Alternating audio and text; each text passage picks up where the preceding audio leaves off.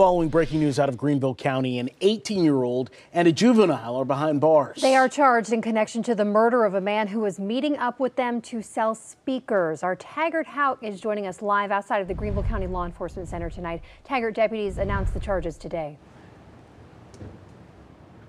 Yeah, Gabby, that's right. We talk about 18 year old Jerome Smith III and the 16 year old. We have a photo of the third. We've got that on your screen right now for you. We understand this all happened back on June 20th at Welcome Park. Investigators say Joshua Harden had planned to meet the pair to sell stereo equipment after pulling in, they say Harden met Smith and the 16 year old and at least one other person to look at that equipment.